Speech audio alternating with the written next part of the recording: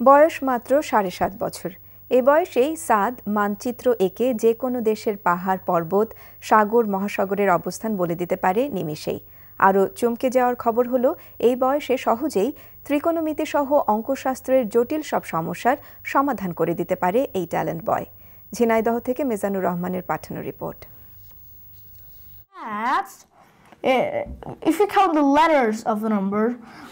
ঝিনাইদহের কালীগঞ্জের কাঁঠাল বাগান এলাকার আলী হোসেন ও আয়শা আক্তার চার্লির একমাত্র ছেলে সামিউন আলিম সাদ।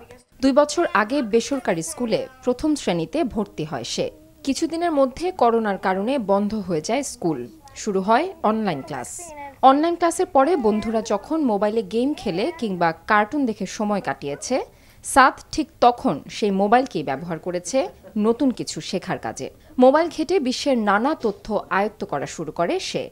এখন তার জ্ঞানের ভান্ডার অনেক সমৃদ্ধ।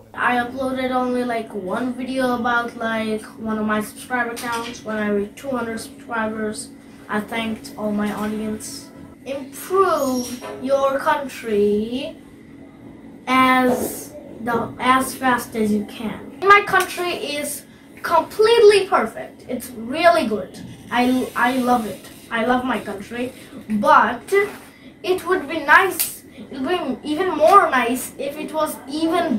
বাংলার চেয়ে ইংরেজিতে কথা বলতেই স্বাচ্ছন্দ্য বোধ করে সাদ নিজের একটি ইউটিউব চ্যানেলও রয়েছে বিভিন্ন বিষয়ে প্রায় সাতটি ভিডিও সেই চ্যানেলে আছে অভিভাবকরা জানান ছোটবেলা থেকেই অনেক ফোন নম্বর মুখস্থ বলতে পারত সাদ আর মোবাইল ফোন পেয়ে তার জানার আগ্রহ আরও বেড়ে যায়। ও বিভিন্ন মোবাইলে অ্যাপস দেখতো কম্পিউটার খেলতো কিন্তু গেম এবং কোনো কার্টুনও দেখে না।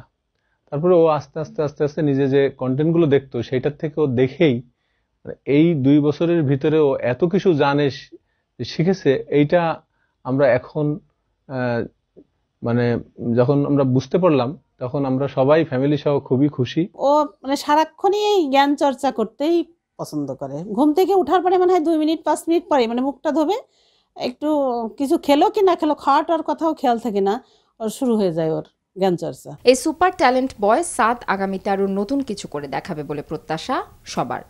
কথা নাহিয়ান এনটিভি নিউজ ডেস্ক।